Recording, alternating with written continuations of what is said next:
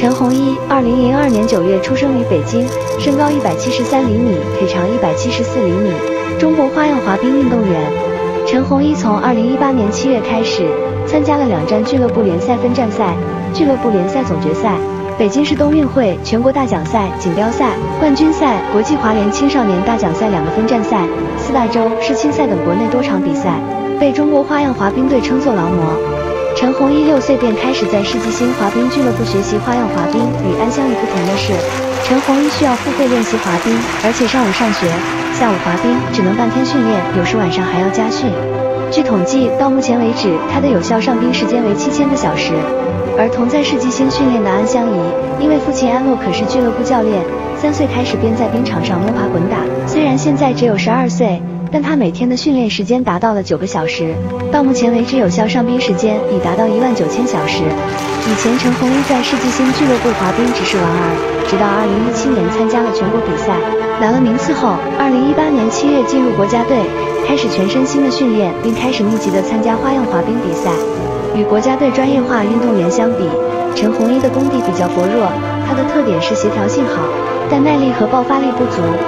从二零一七年开始，北京世纪星俱乐部培养出来的三名小将安香怡、陈鸿一、曹新静相继参加了俱乐部联赛分站赛、总决赛和一系列全国比赛，几乎包揽了女单领奖台，同时也及时弥补了中国女子单人滑出现的空档。在去年年底和今年年初进行的全国锦标赛和全国冠军赛上，安香怡分别获得了第二和第一名，陈鸿一分别获得了第三名和第二名。全国锦标赛冠军被香港选手杨毅夺得。按照国际滑联的规定，十三岁至十九岁可以参加国际青少年比赛，十六岁开始可以参加国际成年比赛，十六岁至十九岁可以选择参加青少年比赛和成年比赛。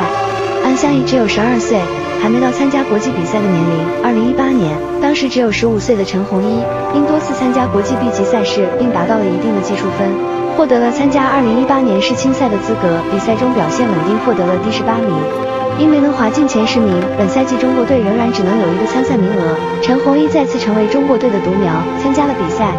因频繁参加青少年和成年比赛，陈鸿一一直在以赛代练，以练代赛，几乎没有稳定的训练时间。比赛中多次因为跳跃周数不足，只获得了第十九名。但在有四十六名选手参加的比赛中，能在短节目中滑进前二十四名，进入自由滑比赛，已实属不易。在世锦赛出发前的公开课上，赵阳说：“打分严格对青少年来说是好事，高要求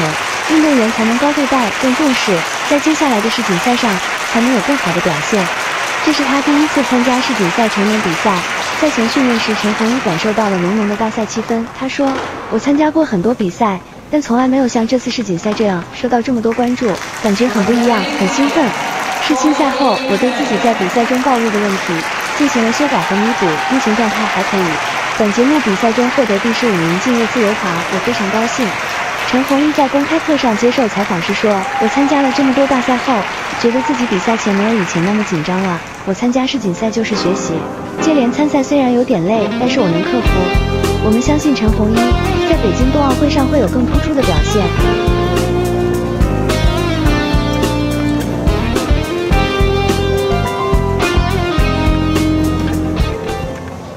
中国홍희철선수의 경기 결과입니다 쇼트